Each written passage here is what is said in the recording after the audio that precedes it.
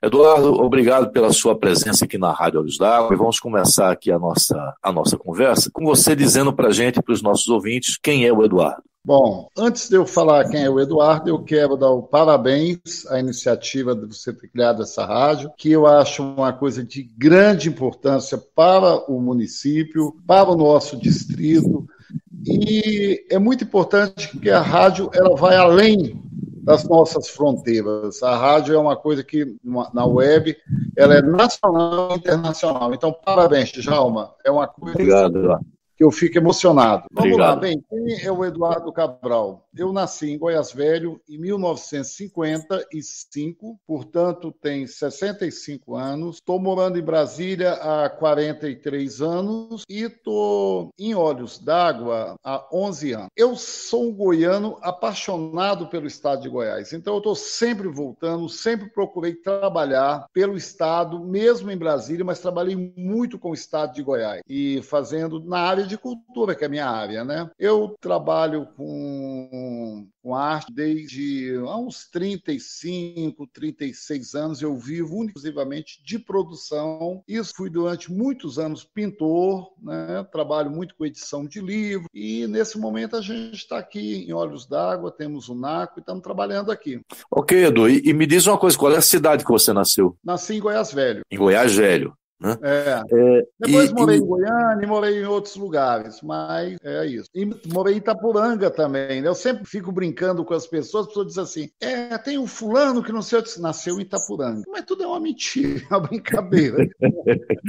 e me diz uma coisa: você falou que você também pinta. É, você ainda mantém esse, esse salutar hábito de pintar? Nada. O que acontece? A pintura, já uma arte em si, é uma coisa muito gratificante, mas é também ela é muito traiçoeira e é muito muito, às vezes, difícil você conseguir trabalhar e viver só da arte. Né? Eu acabei, por questão financeira, indo mais para a produção e fui trabalhando, trabalhando e fui me envolvendo com outras instituições em Brasília culturais e fiquei, fui distanciando da pintura, porque chegava, só ficava à noite para pintar em final de semana. E você vai envelhecendo, você vai ficando cansado, aí você não tem muita pique para trabalhar. Mas eu estou voltando a mexer com a arte agora com barro. Eu tenho trabalhado com barro, estou muito feliz. Isso você já faz há quantos anos esse trabalho com produção?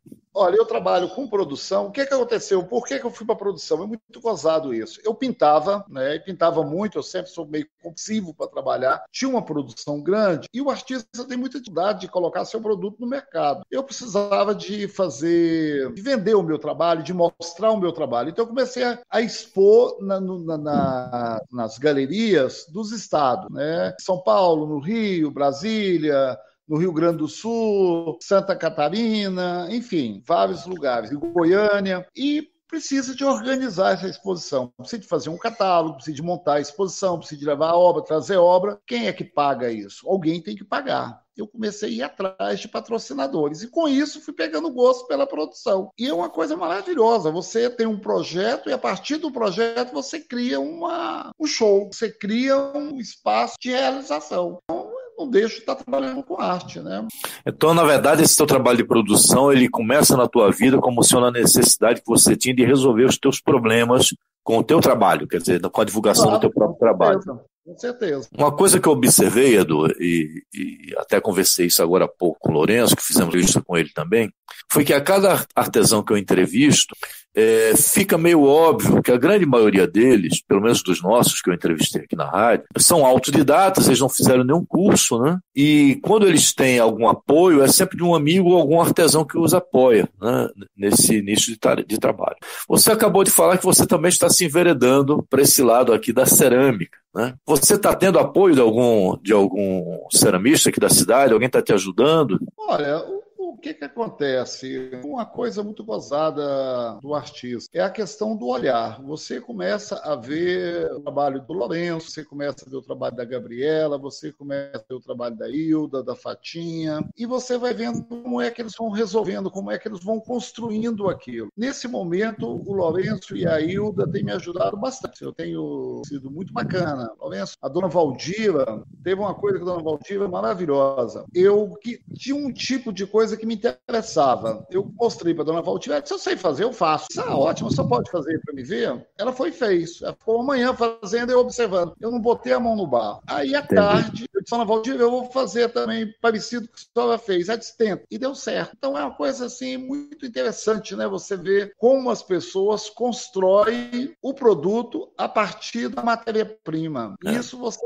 aprende, né? Você vê. E eu aí começo a observar, começo a ver vídeo. Eu acho que o artista tem que estudar sempre, sabe, João? O artista tem que estar pesquisando sempre. Você só vai com o seu trabalho a partir do momento que você tem a coragem de pesquisar de fundo e não só essa pesquisa esteticamente em do outro, mas com você. O que, que, que o trabalho do outro toca? Quem é você? Por que, que aquilo tem a necessidade, necessidade, porque é uma necessidade de existir, de viver. Então, é, essa coisa para mim é muito importante. Quando é que o NACO aparece na tua vida, Edu? Olha, é, em 1992, eu ganhei um prêmio pelo meu trabalho de pintura do, de uma instituição americana, é, Media America Art Alliance. Eu fiquei quase três meses, dos quais 45 dias viajando tá, para os Estados Unidos todo, de costa a costa, visitando centro de residência de artista, museus, conversando com curadores, visitando artistas, associações de arte, e fiquei durante 45 dias em Long Beach, na Grande Los Angeles, em residência no, no museu trabalhando lá. Eu tinha um apartamento que eu dormia, né? E tinha um lugar que eu trabalhava, um estúdio para mim trabalhar, um ateliê. E foi uma experiência muito bacana, Djalma, porque eu não tinha ainda conhecimento, isso em 92, dessa questão de de residência de artista. Nos Estados Unidos, eles pegam aqueles prédios de fábrica, foram abandonado, o quartel da polícia, do, do corpo de bombeiro, delegacia que foi abandonada, é, forte, que, principalmente aqueles da Segunda Guerra Mundial, que estão obsoletos, transforma aqui no centro de arte, com muita coisa de residência. Quando eu voltei de lá, eu tinha vontade, o desejo de criar no Brasil um centro de residência de artistas, que é a proposta do NACO. Né? O NACO tem sete apartamentos, com mais três, são dez apartamentos, onde a proposta é: o artista vem, vai ficar dentro de um programa ali durante um período e tem um espaço para ele trabalhar, tem um estúdio, tem um ateliê. E isso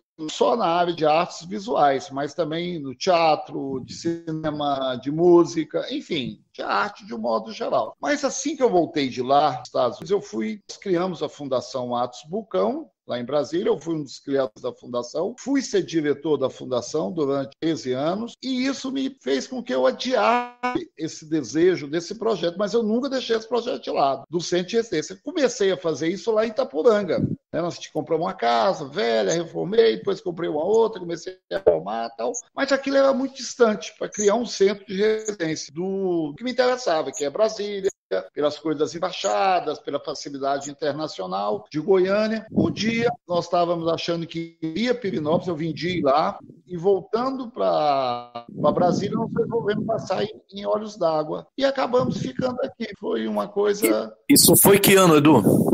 Isso foi 1900 anos atrás. Então Quanto? Desculpa, falhou aqui a ligação. Falhou. 1900 não, 2008. Em 2008. É. Então, em 2008, você conheceu Olhos d'Água, é isso? Não, eu conheci Olhos d'Água em 1978. De lá para cá, eu vi algumas vezes aqui numa feira do Troca, em 78. Eu tinha 23 anos e fiquei vindo. Mas eu nunca tinha intenção de fazer nada aqui. Chegando Entendi. aqui, eu fui visitar o Mano. Aí o Maninho perguntou o que eu estava fazendo, eu contei para ele. Ó, nós vendemos Itapuranga, a, a, a nosso, nosso projeto lá, a nossa dência lá, a casa lá, e estamos procurando, estou vindo de Pirinópolis. Ele disse, nem para Olhos d'Água. O Joel Barcelos, né, o ator, tem aquela Conheço. casa ali na Praia Eduardo e está abandonada. E o Joel é meu amigo, ele vai te vender isso. E foi o que aconteceu. Vim, olhei a casa por fora, ela estava bem ocupada, tava, tinha uma outra, uma outra questão, outra situação. Cheguei em Brasília, na segunda-feira liguei para o Joel. Na terça, quarta-feira, ele chegou lá no meu escritório. E o Joel é muito dramático, né? Jogou um monte de chave na mesa, que a casa é sua. Na verdade, a chave era do apartamento da filha dele. Oh, Nós viemos Deus. aqui e eu comprei a casa dele. Né? Mas a encenação foi feita, né? O drama foi, feito. Uma figura. uma figura. Eu e, conheço, Joel. É, aí eu queria comprar do Mané Russo os terrenos do fundo aqui, que ele ainda tem. E me disse que é do filho dele, que não sei o quê, que é onde eu queria fazer os estúdios. Eu não queria fazer na praça. O NAC eu queria fazer o NAC atrás, o, o, o, o galpão para trabalhar e, e, os estúdios para estúdio não, os apartamentos para os artistas dormir. Aí ele me disse: Não, Eduardo, eu não vendo. A custódia, sua custódia, está lá em casa fazendo pamonha. Vai lá e fala com a vende que terreno dela. Ela está doida para vender. Passei lá na casa dele, ela veio, veio de que terreno ela te vendo. E o preço, eu tinha o recurso para comprar. Eu disse: Custódia, eu fico o seu terreno. Você pode passar a escritura na terça-feira? Ela disse: Eduardo, é, vamos fazer o seguinte. Então, eu falei com ela: terça-feira, nove horas lá na porta da prefeitura, gente no cartório. Disse, o vai mesmo, porque eu sou a terceira pessoa que marca comigo. E duas não apareceram. Eu disse, não, eu, você pode ficar tranquilo que eu vou estar lá. De fato, eu estava lá. Comprei o terreno com ela, dela. O meu filho tinha trabalhado durante cinco anos no Circo de Soleil. E ele estava com dinheiro, que é ele tem escorpião no bolso, não gasta de jeito nenhum, fez a economia e disse assim, pai, eu estou com esse dinheiro, eu estou querendo comprar uma coisa aqui em Brasília, mas não estou conseguindo. Lá em Olhos d'Água, alguma coisa para comprar. Tinha o Adeil, acho que é Adeilto, sei lá, um rapaz, de lado do Wilson ali com terreno para vender. Ele mora lá na ah, Nós fomos lá e compramos dele esse terreno, e ficamos com dois terrenos na praça, ali, dois, dois mil metros. Esse terreno que você comprou é aquele no Del Naco na praça, ali na frente é, do Coreto, tá? Exatamente, é. E ali, o que, que acontece ali? Tinha muita pedra de, de outras construções tal. A gente usou para fazer aquele muro na frente. Aquele muro, ele foi inspirado lá na fazenda do velho Germiniano. Se você ver um vídeo antigo dele, que tem aqui da, do, que aparece ele, tal, do Kim Irsan, que fez com o Arthur, está na internet esse vídeo. Você vai ver que tem a entrada da fazenda dele, tem aquela, aquelas madeiras pé, e um muro de pedra. Aí eu disse, pô, vou fazer isso aqui na praça, que é uma homenagem até o, o, o Geminiano. Geminiano. E tá lá, tá aí, tá, tá a realidade. Aí o que que acontece? Eu gosto de construção, já construí mais de 20 casas na minha vida, eu sou apaixonado por construção. Tenho paciência, sei construir, sei lidar bem com pedreiro, com as pessoas tal. Construímos, aqui tem uma situação muito gozada, tinha, né? O Eunício Vera, ele fica comprando as fazendas e só quer a terra. E as pessoas ficam com chiqueiro para vender, paiol para vender, resto de madeiras para demolição, aquelas coisas. Eu fui comprando, comprei muita coisa aqui dessas fazendinhas perto para fazer o lá. Uhum. E contratei um pessoal daqui, o Edmilson, o Lata, para fazer os adobe para mim. E fui construindo adobe lá do quintal. Não, não, peguei terra de lugar nenhum. Com algumas demolições, algumas coisas, a gente entupiu os buracos depois e com essa madeira que nós compramos dessas fazendas, a gente construiu o NACO de uma maneira muito barata. E está lá. E ficou é, muito bonito, né? E a construção ficou muito bonita, ficou rústico, ficou um negócio bem bonito. É verdade. Então, é aliás, é fica, aliás, fica aqui o convite para os moradores que não conhecem o NACO, irem até o NACO conhecer, mesmo que não tenha atividade, e ver como é a construção do NACO, a maneira como ele foi erguido, né? Muito bonito a maneira com que foi produzida aquilo ali. É, então eu vou, já que aproveitando a oportunidade, vou convidar a população, nem só de de Olhos d'Água, de Alexandre, de Corumbá e de outros lugares, para vir ao NACO toda segunda, sábado e domingo. A gente está tendo uma exposição de cerâmica. A gente está com uma pequena oficina onde as pessoas chegam, faz peças. A gente tem um forno que fizemos no encontro do ceramista, estão queimando as peças e esse usando nesse momento, por essa época pandemia, né, para manter o NACO, porque a manutenção não é tão barata. A gente gasta ali uma média de 3 mil reais todo mês para manter o NACO. E, e, aproveitando então, Edu, fala um pouquinho também do, do. Quer dizer, como é que o NACO se mantém? É, é, eu imagino que. Eu tive também uma entrevista com o Eduardo Alonso né, sobre o Cine NACO, que eu vou até pedir que você também fale a respeito das atividades que a gente tem no NACO. Né? É, mas o que, fica, que ficou claro para mim é que há um esforço sobre-humano, tanto seu quanto dele também, para tentar manter alguma dessas atividades. Né? Então fala para a gente o que, que é, como é que vocês conseguem financiar e, e manter o NACO? É, é o seguinte, o NACO tem algumas situações assim que dá para a gente colocar de uma maneira muito clara para a população, para os ouvintes. Primeiro, o NACO é um núcleo né, de arte do Centro-Oeste. Nós temos uma proposta de trazer artistas fora para vir para os d'água, trabalhar e dar oficina para os interessados daqui do município de Olhos d'Água, enfim, de Alexandre. Temos certa regularidade, né? Hoje tem aqui trabalhando lá, tem um inglês de 90, de 84 anos. Ele é um servista que já foi para o Japão, já ficou muitos anos em Cunha. Ele veio para cá para reformar nosso forno e fará um pouco cerâmica. Vai voltar outras vezes. Bom, isso é uma situação. A outra situação que nós temos para manter o NACO, nós temos os apartamentos. Em época que não tem é, atividade cultural, a gente aluga os apartamentos como hospedaria de um valor barato, né? E esse recurso a gente vai. Então, é... A preço de hoje, Edu, fala quanto é que está uma diária no NACO, até, até para as pessoas saberem uh, uh, o que, Olha, que isso representa. No NACO hoje é 120 reais, né? Okay. Tem um apartamento três pessoas, quatro pessoas, aí vai mudando um pouquinho, né? Aí, Isso tem café da manhã incluído? Não, sem café da manhã. Tá. Com esse recurso, a gente paga as despesas, paga uma pessoa que limpa, né? E, tem, e paga o, a manutenção geral do NACO. Mas não tem é, e tem outros projetos que a gente vai fazendo. Por exemplo, a gente trabalha muito com volume. só um minutinho, Edu, só um minutinho, Edu, que é para a gente aproveitar esse gancho aí da, da questão da hospedagem, até para os ouvintes que vão vão estar ouvindo essa entrevista tua, saberem até como, se, como faz contato com o NACO. Então fala pra gente aí, as pessoas que tiverem interesse, por exemplo, em alugarem para um fim de semana ou, ou virem aqui em Olhos d'Água, como é que elas fazem contato com o NACO para alugar um desses espaços? Olha, ela tem a página, nós temos uma página no Facebook do NACO, lá tem os telefones, tem endereço, é só a pessoa entrar, tem é, e-mail, entrar em contato. Okay. Então o, o, direcionamento é esse. Então, quem quiser vir ao NACO, entra no Facebook, lá vai encontrar as informações. Né? Isso, exatamente. Beleza, e aí quais são, quais são as outras? É, a gente tem mantido o NACO de um certo modo, tentando ajudar. Não, não, não é suficiente. Outras com projetos mais pontuais. Por exemplo, tem o, o encontro de ceramista, né? fizemos pelo NACO, fizemos a Feira do Troca, é, entramos no edital da Prefeitura e fizemos a Feira do Troca, e fizemos alguns programas de residência, né? com a UNB, com a FUNAST do Rio de Janeiro, com, com outro Sebrae. Né? Já fizemos muito trabalho com o Senar de oficina, fizemos durante quatro, cinco anos com o Senai, com o sindicato, produtores rurais, é, oficinas de qualificação para o pessoal de olhos d'água, né? mais voltado para o público rural, diversos segmentos. E outra coisa que a gente faz também é com doação. Né? Às vezes a pessoa doa, principalmente produto, coisas para o NACO. A gente está recebendo de artistas, mobiliário, essas coisas a gente vai montando. Agora sim, e quando não tem jeito, pessoas, faz uma cota e a gente banca as despesas mais urgentes. Entendi. Agora tem uma muito legal no NACO, precisa de valorizar aqui em Olhos d'Água. E acho que, de um modo geral, é coisa do voluntário, sabe? Você, por exemplo, é um artesão ceramista. Você, num sábado à tarde, é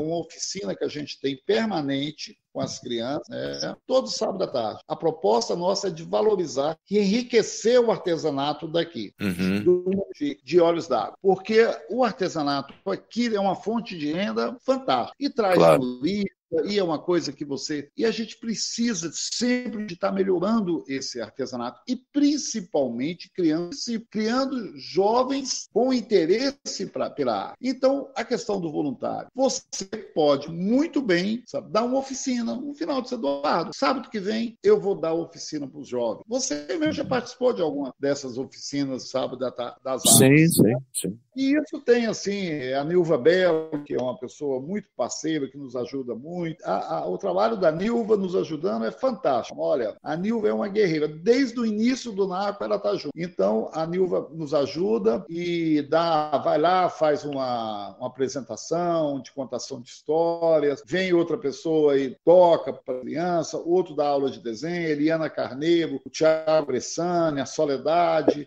enfim, a Hilda Freire, o Lourenço. Vamos voltar um pouquinho agora à questão da, da manutenção do NACO, porque eu acho importante também as pessoas pessoas é, saberem que há, há, há, uma necessidade real né, para que se mantenha esses projetos. Então, a gente, eu gostaria muito de incentivar esse movimento para que as pessoas possam também estar ajudando o NARCO, né? não só como voluntário, né, mas de forma efetiva. Né? Então, eu tenho preocupação hoje porque eu sei que com a pandemia a gente está tendo pouco movimento no comércio. Né? É, isso é terrível, viu? Nos prejudicou e aí eu, isso então, a gente está nesse momento fazendo essas oficinas e vendendo essa cerâmica, que é vaso, basicamente vaso para suculento Perfeito. e planta de modo geral. E a lei Aldir Blanc, vocês já entraram para fazer uma solicitação para de apoio? A gente cadastrou lá na prefeitura, a gente está aguardando o Ministério do Turismo, da Cultura, lançar a. Como é que chama? As normas mas né, lançar o, a regulamentação, que ainda não lançou, me parece, Isso, pelo menos é. até não tinha. Nós estamos aguardando para ver como é que a gente vai é, poder se posicionar, mas a gente vai pleitear um recurso, sim, acho justo. Vamos aproveitar e falar agora um pouco do encontro de ceramistas, o, o Edu, é, é, que foi o NACO que organizou. Né? O que, que você achou do encontro? que, que você achou fundamental que aconteceu? Eu acho assim, o Sebrae, talvez muita gente da cidade não saiba, o Sebrae fez um trabalho aqui em 2017, 2018, tá? e é valiosíssimo. Esse trabalho que o Décimo é, faz agora, é, realizou aqui, que foi um planejamento estratégico. O que, que a gente quer para os d'água nesses 10 anos? E eles fizeram aqui em 2018 o um encontro dos artesan de artesanato do estado de. Goiás. Né? Tinha uma proposta gigantesca, ia vir para cá 700 pessoas, de 700 artistas artesãos do estado de Goiás. Infelizmente, foi cortando as verbas, cortando as verbas mas trouxeram por volta de 200. Foi maravilhoso, foi um evento muito interessante. Eu estava na praça conversando com o Carmeli e o Valmir, e foi lá na frente estava a Hilda, e a gente foi para conversar com a Hilda e o Lourenço, e dissemos, gente, nós estamos combinando aqui, né, eu estava conversando com o Carmeli, de fazer um encontro do ceramista Lourenço Eduardo, nós já tínhamos falando mais de uma vez, inclusive com aqui com, com, com Carmelito. Foi assim que surgiu a ideia. Isso em 2018, setembro de 2018, aqui na praça.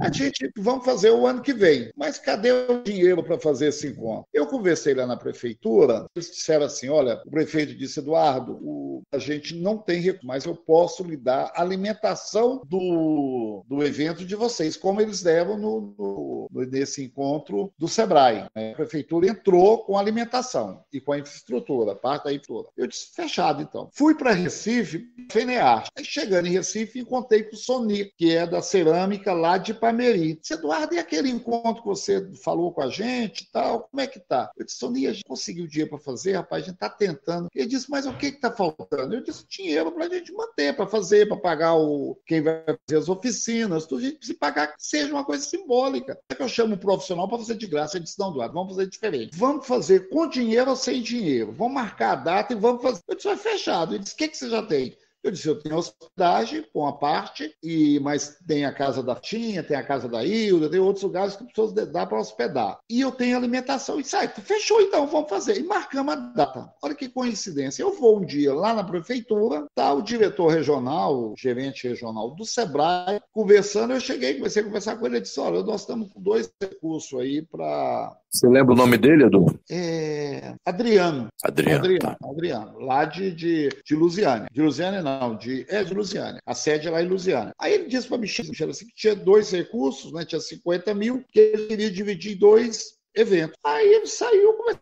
a Michele, é Michele, vamos propor para ele fazer o disse, Eduardo, fechado. Pronto, mandou para ele, eles aprovaram. E os outros 25 mil iria usar na feira do troca, que acabou nem usando, o município perdeu esse, mais esses outros 25 mil. E fizemos o evento com 22 mil, porque o Sebrae, para você fazer o negócio com ele, você tem que emitir uma nota. E você Aí tem, tem que pagar que... imposto. Tem que recolher imposto.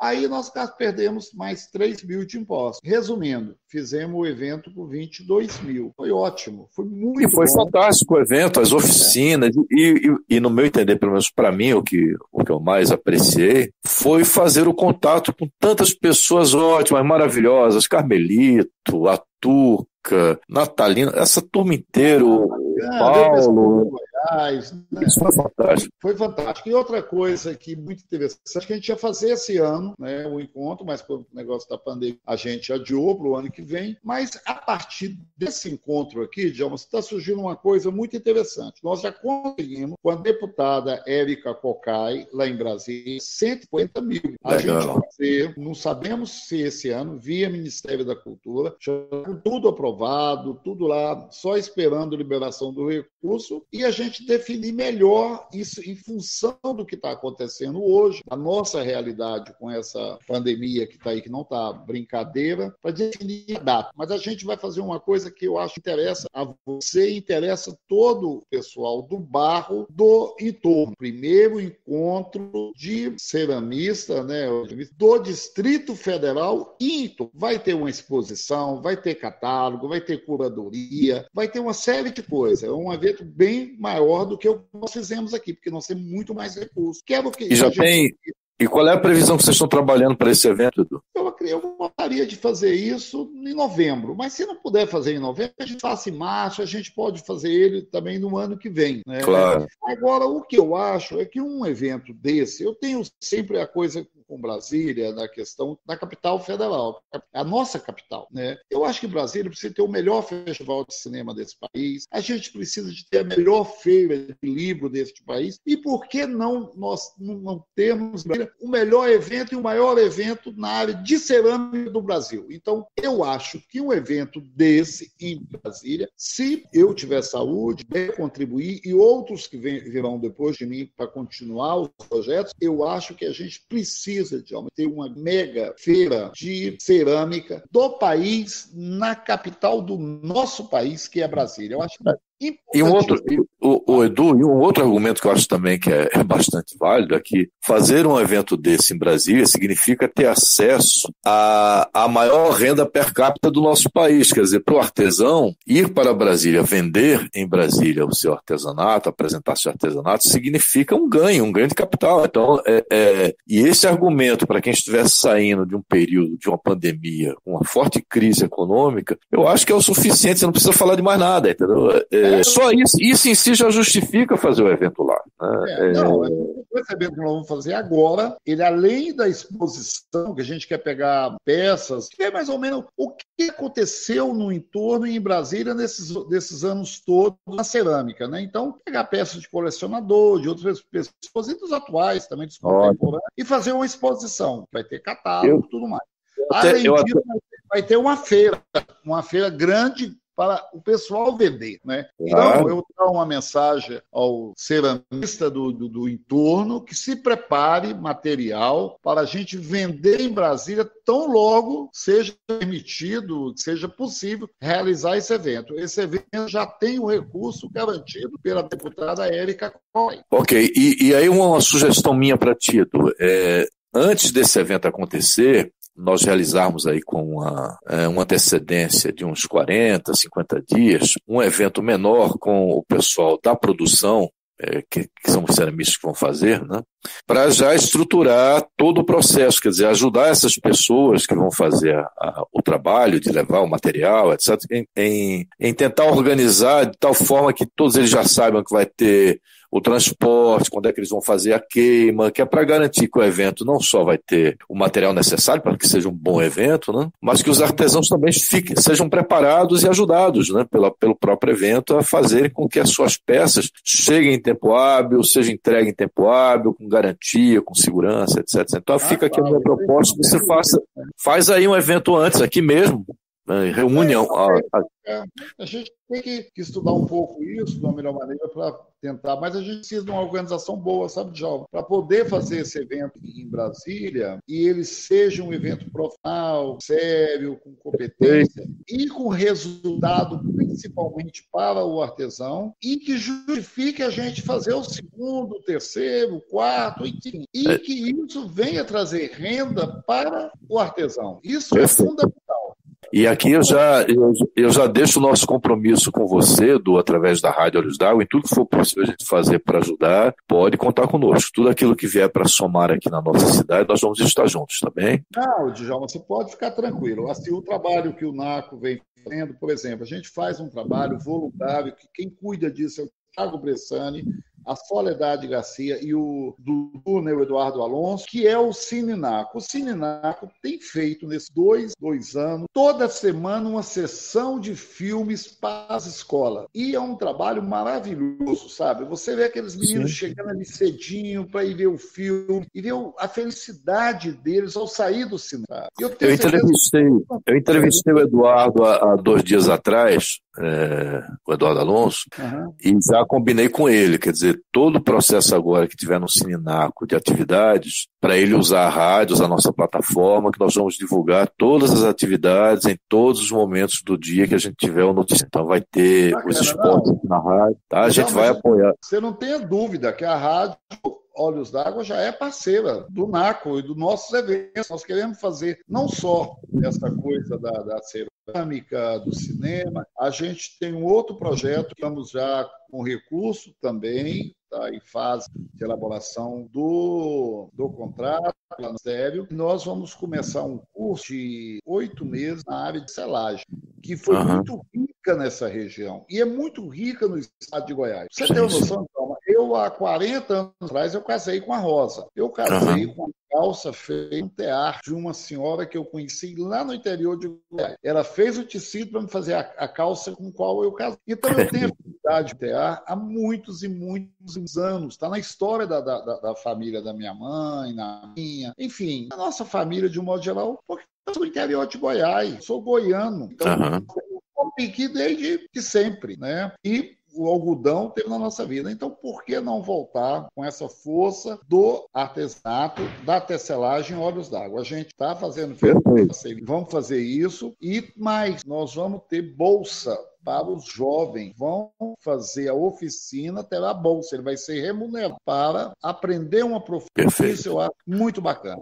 Ótimo. Ótimo, perfeito, Edu. Eduardo, é, quero agradecer a tua participação aqui na Rádio Olhos d'Água. É, muito obrigado e deixo para você aí tuas palavras finais para a gente fazer o encerramento. Olha, Djalma, eu fico muito feliz de, de ter participado aqui com você desse bate-papo. Espero que seja o primeiro e gostaria de voltar a ser. Eu queria convidar o pessoal do artesanato de Olhos d'Água a participar mais do NACO. O NACO é uma que está aberta. A gente tem pensado muito em fazer um evento três em três meses, na, entre um troca e outro, fazer um evento, botar o artesanato, não só a cerâmica, como tecelagem, outros segmentos da palha, mais. E a gente está tá com um projeto aí muito legal, que deve, não vou falar dele quanto, mas é um projeto de qualificação, tá? de ampliar o horizonte da espalha, com tecelagem, de quem mexe com outros segmentos do artesanato. A gente tem um projeto, está com o relativamente negociado e a gente vai trabalhar. E eu quero muito ser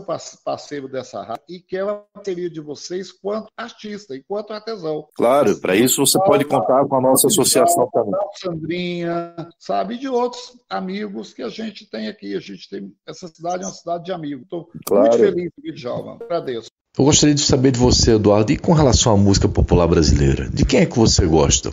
Qual é o, o cantor que você aprecia? Eu sou muito eclético em relação a uma música. Eu gosto de ouvir Milton Nascimento, Caetano Veloso, Renato Russo, Cássia L, Luiz Melodia, Pena Branca e Chavantinho, depende, depende do dia e da hora. Mas então dá uma palhinha pra gente de um desses um desses cantores que você gosta? Hoje amanheceu muito frio. Eu vou cantar uma música que é do Lobão e mais quem canta ela que eu gosto muito é Marina. Chove lá fora e aqui faz tanto frio, me dá vontade de saber aonde está você, me telefonar me chama, me chama, me chama. legal, Edu, legal. Obrigado pela sua participação, camarada. Até logo. Tenha um bom dia, um bom fim de semana para você. Obrigado.